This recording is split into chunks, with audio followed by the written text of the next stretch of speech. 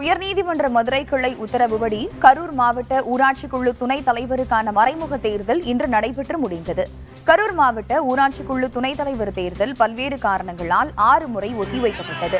மாவட்ட ஊராட்சி குழு உறுப்பினர்களில் திமுகவில் ஆறு பேரும் அதிமுகவில் ஆறு பேரும் இணையான பலத்துடன் இருந்ததே இதற்கு காரணம். இதுகுறித்த வழக்கை விசாரித்த உயர்நீதிமன்ற மதுரை கிளை தேர்தலை மறைமுகமாக நடத்தி சீலிடப்பட்ட கவரில் முடிவுகளை ஒப்படைக்க வேண்டும் எனவும் நீதிமன்றம் உத்தரவிடும் வரை முடிவுகளை வெளியிடக்கூடாது எனவும் உத்தரவிட்டிருந்தது. இந்த நிலையில் தான் முன்னாள் அமைச்சர் எம் ஆர் விஜயபாஸ்கர் காரில் வந்து கொண்டிருந்த அதிமுக உறுப்பினர் திருவிக என்பவரை மர்ம மனிதர்கள் கடத்தி சென்றதாக கூறப்படுகிறது. எனினும் தேர்தல் அதிகாரியும் மாவட்ட ஆட்சியருமான பிரபு சங்கர் தலைமையில் மாவட்ட ஊராட்சி குழு துணைத் தலைவருக்கான மறைமுக தேர்தல் நீதிமன்ற உத்தரவுப்படி நடைபெற்று முடிந்தது. இதில் திமுகவை சேர்ந்த ஆறு பேரும் அதிமுகவை சேர்ந்த ஐந்து பேரும் வாக்களித்தனர். நீதிமன்ற உத்தரவுப்படி தேர்தல் முடிவுகள் அறிவிக்கப்படவில்லை.